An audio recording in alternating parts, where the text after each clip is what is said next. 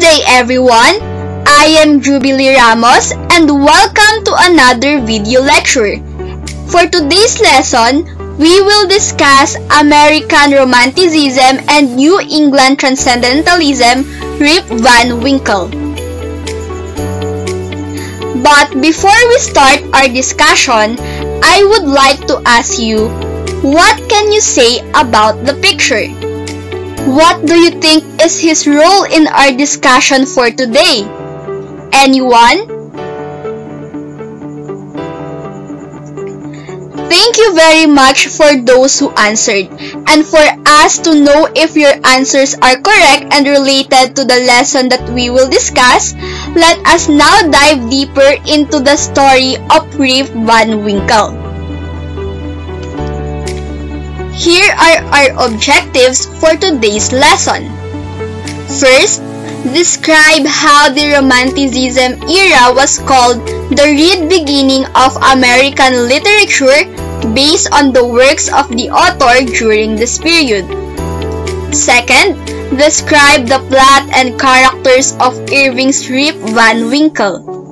And lastly, Analyze the structure of the text, referring to the significance of first-person narrative across stories told by the same narrator. And now, let us discuss Rip Van Winkle. Rip Van Winkle was written by Washington Irving. He is a lawyer, who pursued a writing career after discovering that practicing law did not interest him. He is known for being the father of the American short story, biographer, historian, and diplomat. Also known as Diedrich Knickerbocker, Jonathan Oldstyle, and Geoffrey Crayon-Storian. He was born on April 3, 1783 in New York City. He was named after George Washington. His parents are William Irving and Sarah Sanders. He died on November 28, 1859 in Tarrytown, New York. His notable quote is, There is a certain relief in change, even though it be from bad to worse, as I have found in traveling in a stagecoach that it is often a comfort to shift one's position and be bruised in a new place. Irving proved that American writers could compete with their British colleagues when most Americans read British authors almost exclusively. He was one of the first American writers to achieve an international reputation with his short stories. Irving had a unique talent for infusing his stories with mystical, fairy tale quality most notably in Rip Van Winkle and The Legend of Sleepy Hollow, and therefore influenced early American folklore. Modern readers continue to be enchanted by his exquisite writing style, full of gentle humor and evocative descriptions. His captivating stories are likely to continue popular for a long time. Based on Collins English Dictionary, Rip Van Winkle has two meanings. The first one is a person who is oblivious to changes, especially in social attitudes or thought. And second, a person who sleeps a lot.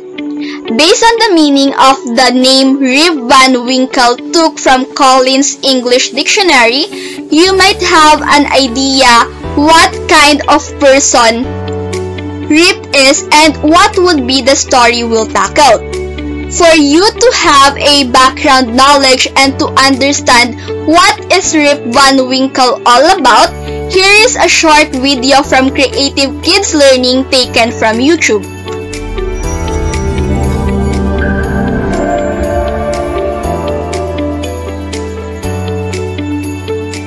Rip Van Winkle Rip Van Winkle was a lazy man.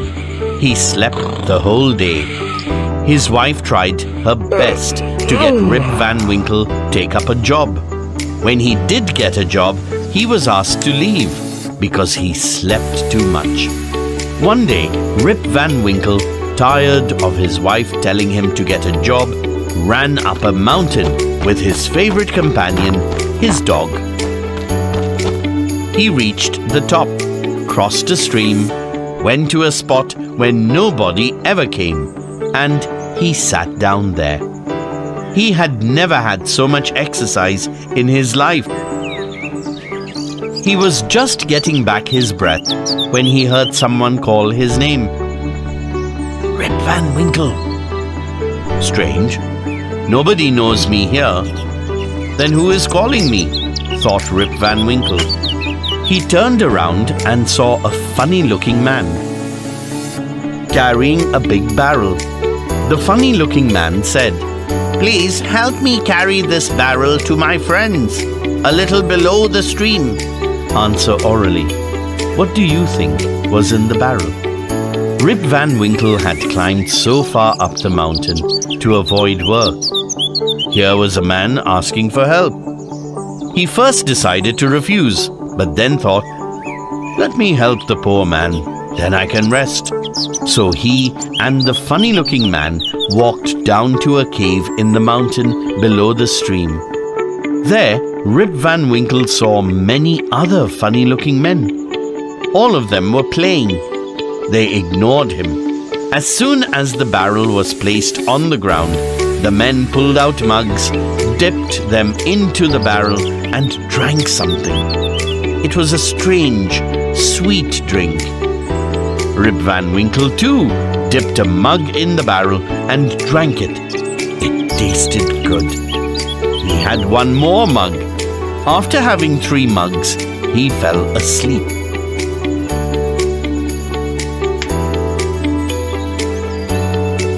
When he awoke, he saw that all the funny looking men had gone. He called out to his dog, but there was no response. He could not believe he had slept the whole day and night. He got up. His joints ached. As he started walking back home, he saw the village down below, which somehow seemed changed. When he entered the village, he saw new faces. All the people looked at him and rubbed their chins. Seeing them do this, Rip Van Winkle did the same. To his surprise, he found that he had grown a foot long beard overnight. Rip Van Winkle was puzzled. He believed that he knew most of the village folks well, but today he could not see anyone who was known to him. The children made fun of him, running behind him. Rip Van Winkle stopped by a place where there had been a school and asked the crowd that had gathered where is Shuna, the schoolmaster? Somebody said, Oh, Shuna, he went to war in 63 and never came back. And uh, Van Damme? asked Rip Van Winkle. He died 18 years back, said another voice in the crowd. Rip Van Winkle thought, Am I going mad? Had I slept all these years on the mountain? Finally, Rip Van Winkle asked, does anyone here remember Rip Van Winkle? A woman said, Yes, he was my father. He went up the mountains 21 years back, but never returned. His dog came back without him. Rip Van Winkle was overjoyed. He said, Daughter, it is me, Rip Van Winkle. Don't you recognize me? Oh, my father, it is really you. Where have you been all this while? said his daughter. Father and daughter hugged each other. Rip Van Winkle had indeed slept for 21 years. After watching the video of the story of Rip Van Winkle, let us now move forward to discuss the setting of the story. The story begins about 5 or 6 years before the American Revolution and ends 20 years later. The action takes place in a village in eastern New York near the Hudson River and the Catskill Mountains. The river was named after Henry Hudson, an Englishman who discovered it in 1609. The Catskill Mountains are named after Kaaterskill, the Dutch word for Wildcat Creek, a nearby stream. Many other streams and lakes, waterfalls can be found in the Catskills. And next, we have the characters. The first one is Rip Van Winkle. He is the main character in the story. He is meek, easygoing, ne'er-do-well resident of the village who wanders off to the mountains and meets strange men playing ninepins.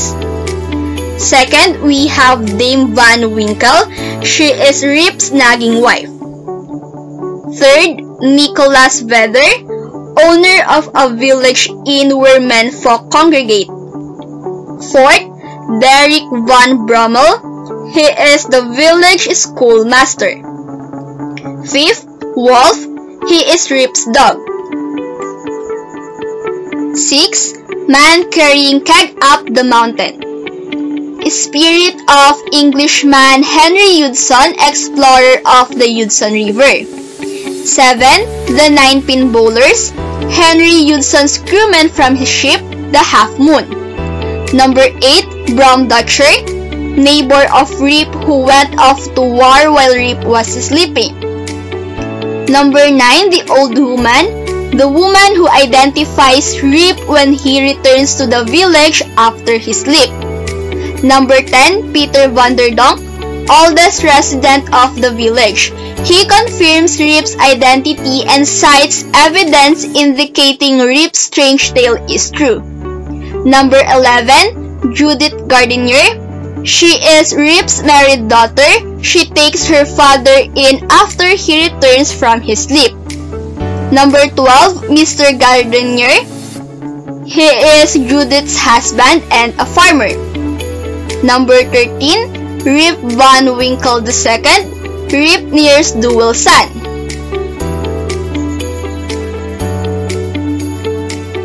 Number 14, we have Rip Van Winkle III, Rip's infant grandchild.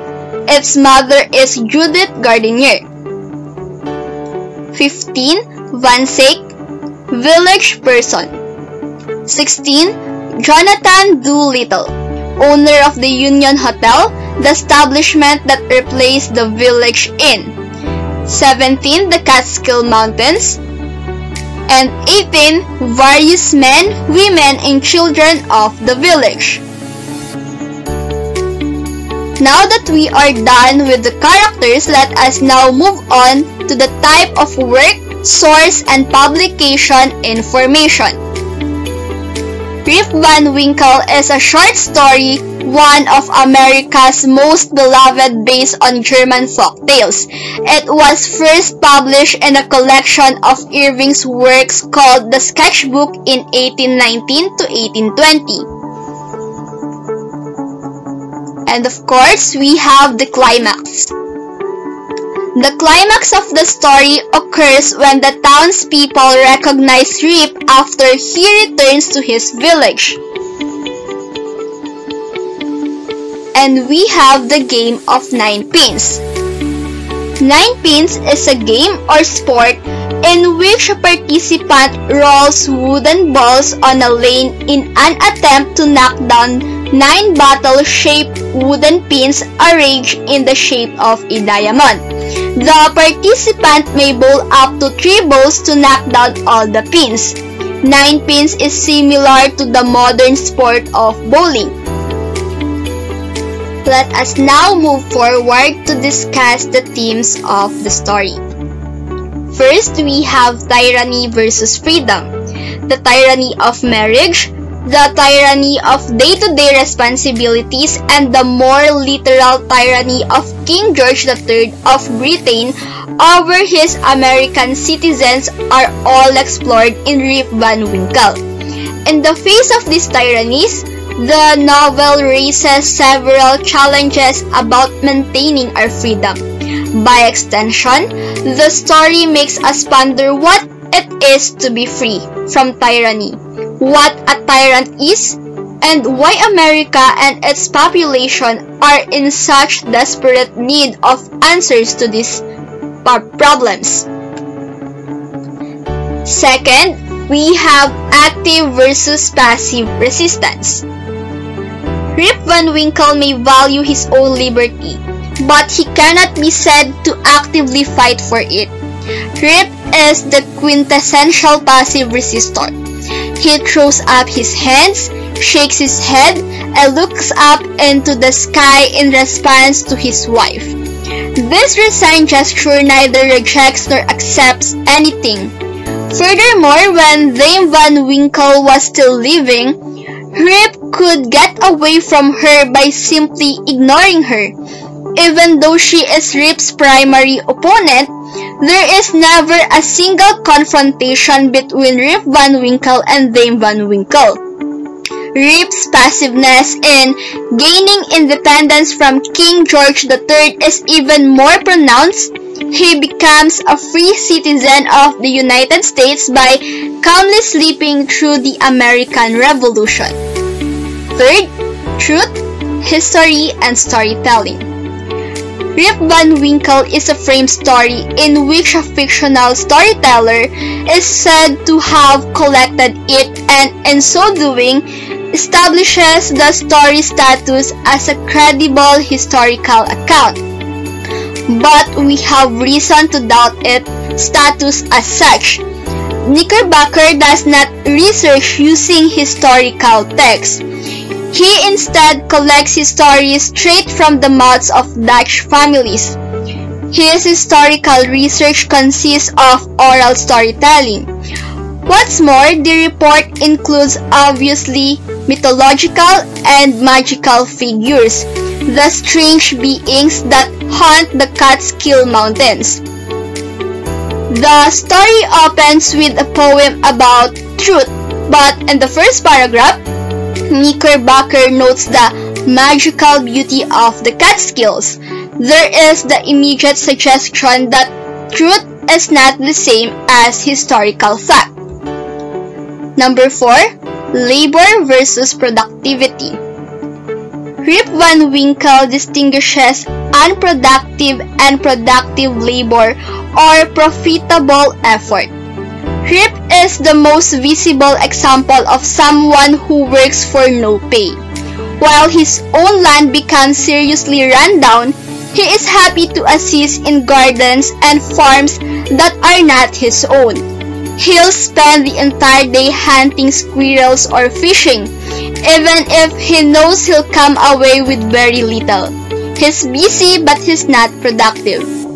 Furthermore, Derrick Van Bummel, the highly clever schoolmaster who has earnest discussion with others at the Asian Inn about long out-of-date publications is noticeably preoccupied with an ultimately meaningless exercise. Knickerbocker, it is said, is also guilty of unproductive labor. He toils over his historical reports, although most people regard them as insignificant no matter how extensive and correct they are. And lastly, change versus stasis. In Rip Van Winkle, there is a dynamic conflict between change and stasis, and by extension, past and future. After waking up, Rip returns to the mountain to find that everything has changed. The town has increased in size and population. His children have grown up. His wife has passed away and he now has a grandchild. Rip is no longer a subject of the king because the United States of America is now an independent free nation. Even though this is true, Rip finally returns to his old life. Here are the references used for this video lecture.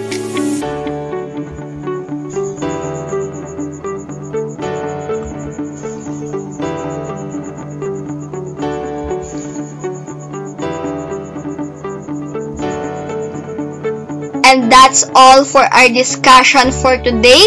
I hope you learned a lot. Thank you for watching.